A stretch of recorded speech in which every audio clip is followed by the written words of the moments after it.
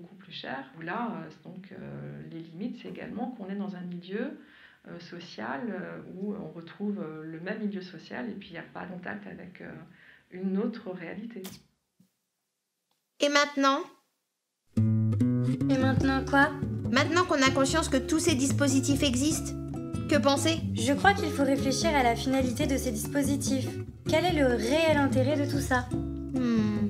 On dirait qu'il y a deux grands axes qui commencent à se dessiner. Lesquels selon toi? On dirait que d'une part, il y a des pédagogies alternatives qui permettent à l'enfant de tendre vers un épanouissement personnel au sein de la classe. Et d'autre part, certaines pédagogies alternatives semblent vouloir créer des prises de conscience qui sortent des murs de la classe. Eh bien, mets tes chaussures et allons vers là où ces pédagogies peuvent nous mener. Mais on va où, sérieux? Je t'emmène voir une chercheuse qui s'appelle Irène Ferreira, qui va nous parler d'une manière différente d'approcher la pédagogie. Ah.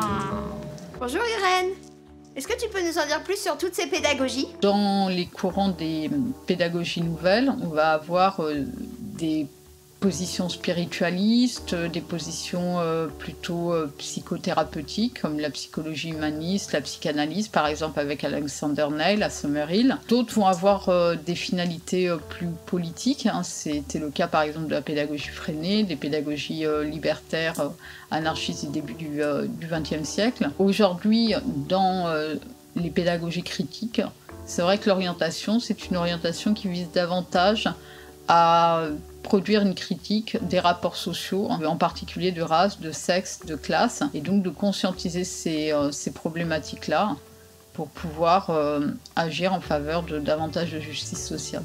Si l'on veut avoir un regard critique sur toutes ces pédagogies, Comment faire Les limites euh, des pédagogies nouvelles. Ce que dit Paolo Frère, c'est que l'éducation nouvelle, c'est donné pour euh, objectif de transformer la salle de classe, mais pas nécessairement de transformer la société. Et à partir des années 70, euh, 80, on a assisté à une vague de récupération néolibérale en fait d'un certain nombre de pratiques de l'éducation nouvelle et aux États-Unis, avec euh, par exemple un pédagogue critique qui s'appelle Henri Giroux, cela l'a amené à distinguer entre trois formes de pédagogie.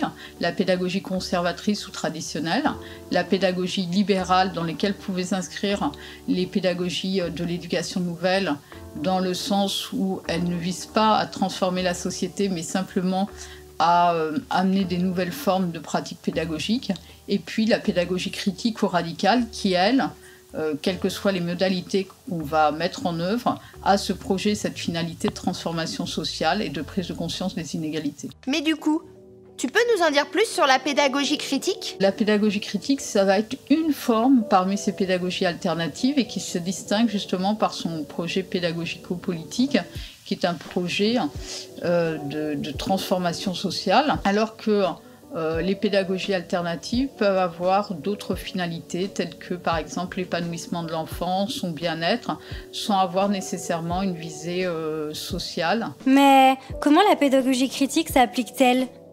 Y a-t-il une méthode prédéfinie? Alors la, pédagogie critique ne repose pas sur une méthode en particulier. Là, Paulo Frère expliquait qu'il euh, n'avait pas voulu créer une méthode, même il a récusé le fait de qualifier sa méthode d'alphabétisation, justement de méthode et euh, de la réduire à un ensemble de techniques.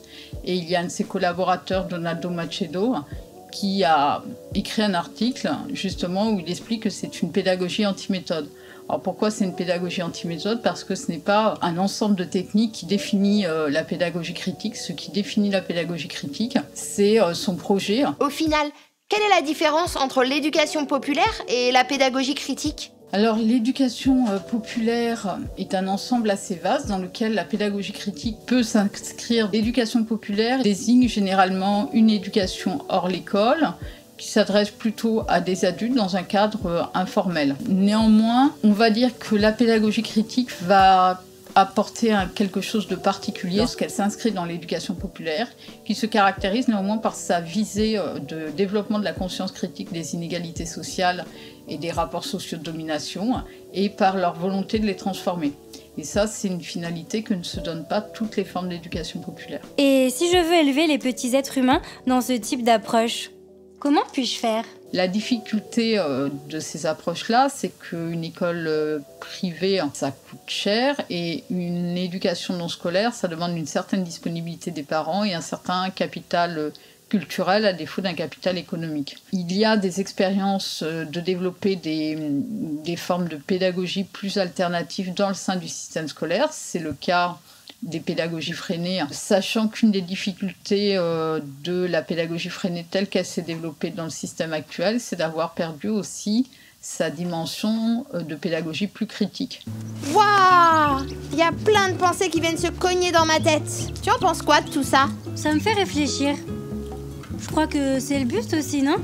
Réfléchir aux valeurs et pas seulement aux connaissances qu'on veut inculquer aux enfants à travers l'éducation. Ça me fait un peu peur. Tu sais, pour ne pas avoir peur, il faut prendre les choses en main. Et même si tu n'en as pas, tu peux quand même agir. Regarde